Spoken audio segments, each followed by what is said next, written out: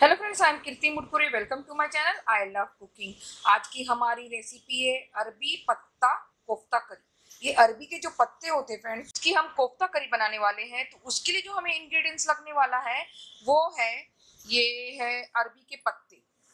इसे tarot leaf भी शायद कहा जाता है।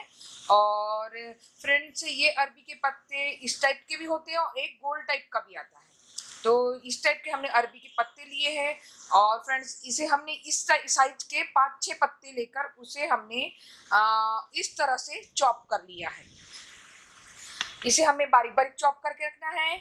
उसके बाद में हमें ये है ब्लैक ग्राम स्किन यानी उड़द की दाल, ये छिलके वाली उड़द की दाल है फ्रेंड्स तो इसे हमने फोर टू फाइव आवर्स के लिए वाटर में सोप करके रख लिया है। यानी जैसे चार से पाँच घंटों के लिए हमने पानी में भिगो के रखा था। उसके बाद में हमने इसकी स्किन निकाल ली है।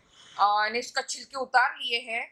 और फ्रेंड्स इसका मैंने इसके छिलके उतारने का वीडियो भी अपने चैनल पे अपलोड किया है कि उड़द दाल के छिलके किस तरह से आसानी से निकाले जा सकते हैं। तो उसका मैंने वीडियो अपलोड कर चुकी हूँ तो आप मेरे चैनल पे देख सकते हो।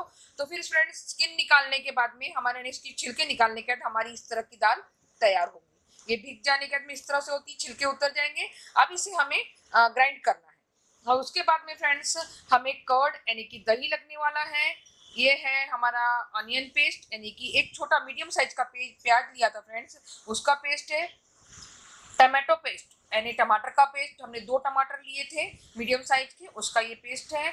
उसके बाद में हमें mustard seed and cumin seed means राई और जीरा लगेगा।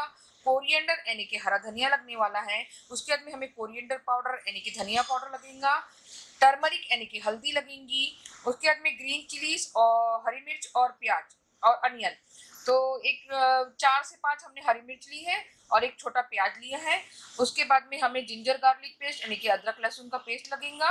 ये है गरम मसाला, और फिर ये सॉल्ट यानी कि नमक, और ये रेड चिली पाउडर यानी कि लाल मिर्च. इसे बनाना बहुत आसान है और इसे बनाने से पहले मैं आपसे रिक्वेस्ट करना चाहती हूँ, अगर आपने मेरे चैनल को सब्सक्राइब नहीं किया है तो प्लीज़ मेरे चैनल को सब्सक्राइब कीजिए और बेल आइकन को क्लिक करके मेरी लेटेस्ट वीडियो को सबसे पहले अपने मोबाइल पे देखिए। सो फ्रेंड मेरी easy to make and tasty to eat recipe को स्टार्ट करते हैं। सबसे पहले हम क्या करेंगे फ्रेंड्स इसका वाटर हम इसका पानी को हम ड्रेन कर लेंगे और इसे हमें मिक्सर में ग्राइंड करना है। देखिए इसका पानी हमने पूरा ड्रेन कर लिया है और मिक्सर पॉट में डाल चुके हैं। अब इसे हम आ, इसे बारीक पीसना है। फ्रेंड्स इसमें पानी का इस्तेमाल ना करें। एकदम हल्का सा पानी अगर लगता है पीसने के वक्त तो डालना वरना आप इसे ऐसे ही पीसो वरना ये ज़्यादा गीला हो जाएगा तो हमें कोफ्ता बनाने में तकलीफ़ जाएगा। तो फ्रेंड्स अब इसे हम ग्राइंड कर लेते हैं। देखिए हमने उड़द की दाल को पीस लिया है। अब हम क्या करेंगे? हम एक स्टीमर लेते हैं और इसमें हमने पानी रख दिया है। अभी इसको हम गैस पे रख देते हैं और ये स्टीमर में हमने ऑयल से ग्रीस कर लिया है इसे। हमने आजू बाजू में ऑयल लगा के इसे ग्रीस कर लिया है। अब इसमें हमारे कोफ्ते बनाएँगे। पहले हम स्टीमर को रख देते हैं गैस पर और हमारी उड़द की दाल लेंगे पिसी हुई उसमें डाल देंगे हमारे ये अरबी के पत्ते, जो हमने एकदम बारीक चॉप करके रखा हुआ है। छह सात अरबी के पत्ते लिए हैं और एक पाव के करीब हमारी उड़द की दाल है ये।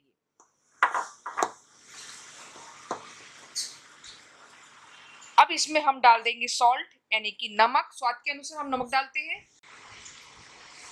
अभी हमारे ये जो कोफ्ते बना रहे हैं, उसके लायक हम इसमें नमक डालेंगे। अब इसमें डाल देंगे हम रेड चिली पाउडर यानी कि लाल मिर्च पाउडर ये आप अपने मुताबिक कम ज़्यादा कर सकते हो। लाल मिर्च और नमक आप अपने मुताबिक ही डालिए। और उसके बाद में हम डाल देंगे इसमें धनिया पाउडर। तो ये मैं हाफ़ टी स्पून ले रही हूँ। उसके बाद में हम थोड़ा सा हरा धनिया डाल देंगे। थोड़ी सी ग्रीन चिली डालेंगे। हमने चार से पाँच हरी मिर्च काटी थी तो हम इसमें थोड़ी सी डालेंगे।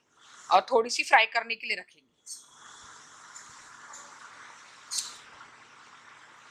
ये सब डाल के हो चुका है फ्रेंड्स अब इसे हमें अच्छे से मिक्स करना है। उड़द दाल के साथ में हमें इसे अच्छे से मिक्स करना है।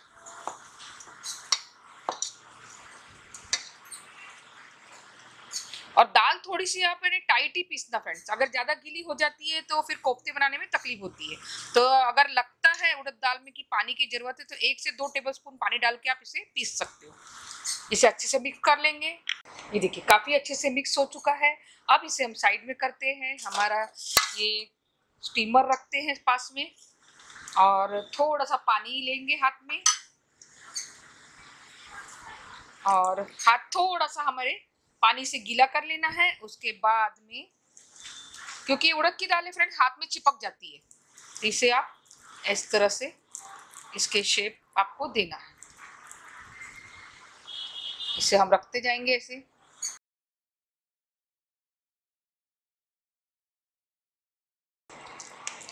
बहुत ही टेस्टी रेसिपी है फ्रेंड्स ये, आप इसे ज़रूर ट्राई करके देखना। इजी भी है और आप इसे कोफ्ती वाले इस तरह से स्टीम करके आप रख सकते हो, दूसरे दिन भी आप बना सकते हो। आपके स्टीमर में जितने आती हैं, उतने हम कोफ्ते पहले बना लेंगे। देखिए, हमारे कोफ्ते, इसमें चार आए हैं तो मैं चार ही डाल के इसे पहले स्टीम कर लूँगी। देखिए, अब हमारे पानी में बॉईल आ चुका है अच्छी तरह से। अब इसमें हम हमारे कोफ्ते रख देते हैं स्टीमर में। इसे ढक देंगे और उसे 15 से 20 मिनट तक हमें इसे स्टीम होने देना है। चलिए अब हम हमारे कोफ्तों को चेक कर लेते हैं।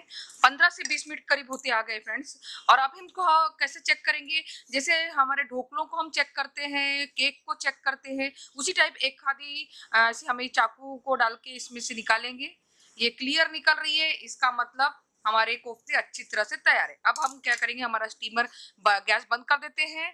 इसे हम पूरी तरह से ठंडा होने देना इसे हम हटा लेते हैं यहाँ से और इसे पूरी तरह से ठंडा होने देंगे और उसके बाद में हम इसके पीसेस करेंगे।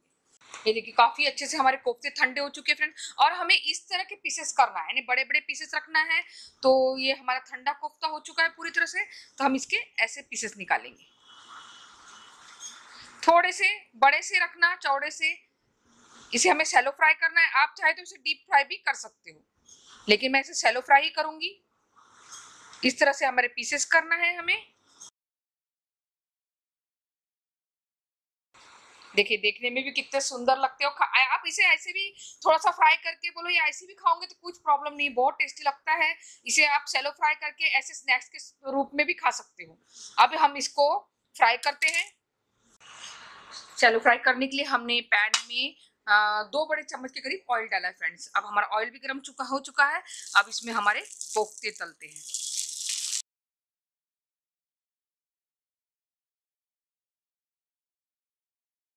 मीडियम आँच पे ही इसे हमें फ्राई करना है, ज़्यादा तेज पावर ना रखे गैस का।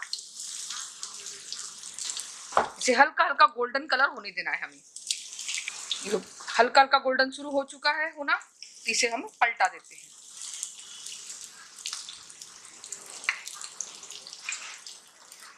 और इसी में जो हमारा ऑयल बचेगा फ्रेंड्स हम उसी में हमारी सब्ज़ी को फ्राई करेंगे।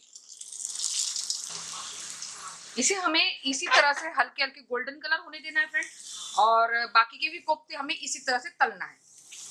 इसी तरह से हमें इसे पलटा पलटा के, जब तक कि इसकी कोटिंग हल्की सी क्रिस्पी ना हो जाए, और फिर हल्का सा गोल्डन और कलर आ जाएगा, फिर निकाल लेंगे।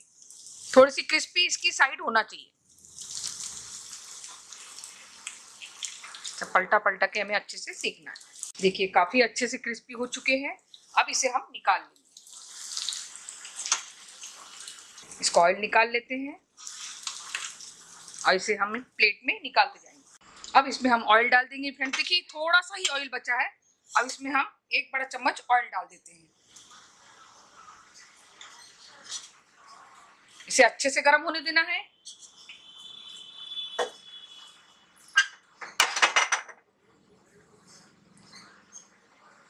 अब हम लेंगे mustard seed and cumin seed ये हाफ़ हाफ़ टी स्पून जीरा और राई है। ये डाल देते हैं, इससे फ्लटर होने देंगे।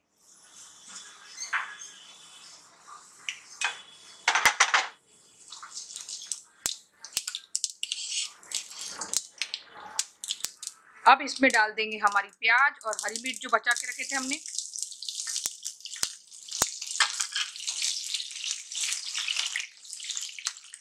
अब हमारी प्याज भी हल्की हल्की होने में आ चुकी है।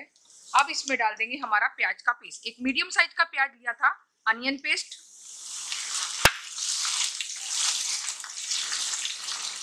साथ में एक tablespoon ginger garlic paste यानी अदरक लहसुन का पेस्ट वो डाल देते हैं।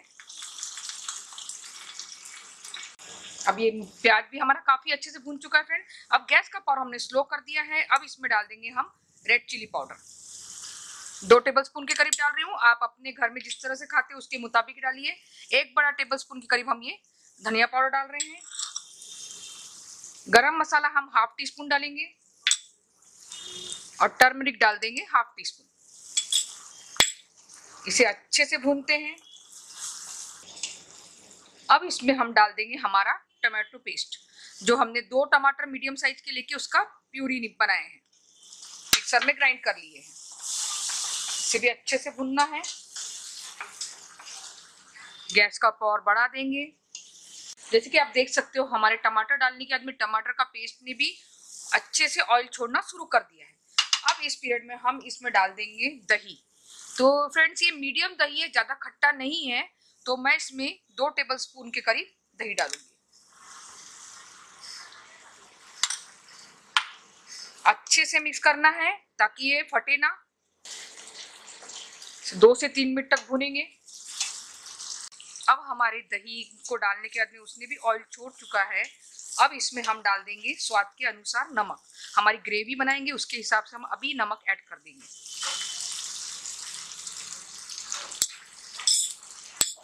मैंने डेढ़ टेबल स्पून के करीब डाली, आप स्वाद के अनुसार ही नमक डालें।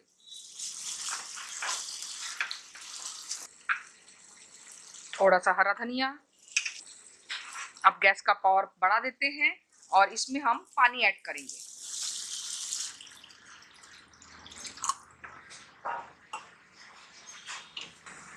इसमें हम और पानी ऐड करेंगे क्योंकि हमारे कोफ्ते इसमें पकेंगे। तो थोड़ा सा पानी हमें हम एक गिलास, यानी डेढ़ गिलास के करीब पानी ऐड किया है इसमें। क्योंकि हमें एक ग्रेवी वाले बनाने अब इसे हमें बॉईल होने देना है। देखिए, अब हमारी ग्रेवी में बॉईल आ चुका है। अब इसमें जो हमने कोफ्तों को सेलो फ्राई करके रखा था, उसे डाल देना है। और इसे हम 10 मिनट तक इसमें पकने देंगे।